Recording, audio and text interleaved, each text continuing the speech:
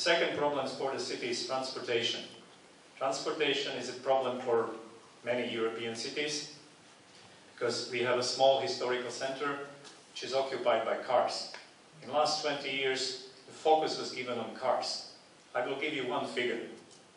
520 cars per thousand citizens in Bratislava. In Vienna, it's 450.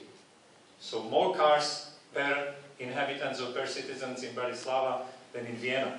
It's crazy. Car become a symbol of the position.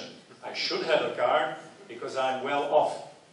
And this is not always the case because if the city is locked by the cars, this is not a good signal for the people. When they wait in the congestions, coming to the city, going to their work by car, and they're waiting 40 minutes, one hour, it's something you probably know also here in US, because I went through some congestions here. So I know what, what I'm talking about, but we would try to solve this by the means the other European cities do or did. It's a, it's a, a priority of public transport. Public transport, we dreamed of metro for 30 years in Bratislava. We have metro in Prague. It was the Czechoslovakia project, but it never came to, to Bratislava.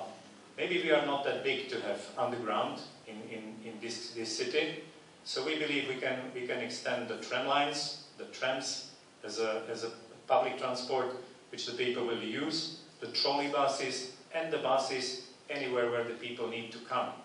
And then to, we, we are trying to put the stress on the cycling. Cycling is a modern concept coming from Copenhagen, Netherlands and many other cities. And many young people want to go to their work by bike.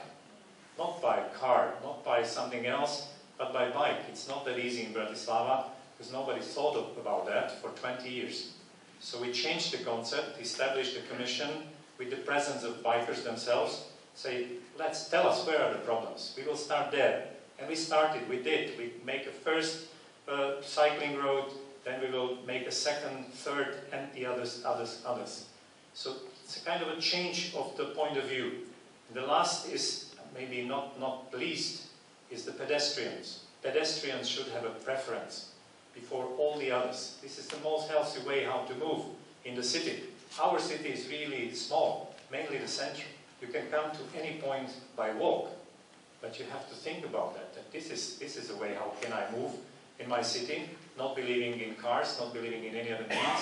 So pedestrians, cyclists or bikers, public transport. This is where we are trying to move ourselves. It's not easy because it needs infrastructure, we are lacking resources, but we are trying to find help with the European Union funds. And we are a country which is eligible for getting the funds, and we are focusing them mainly on transportation.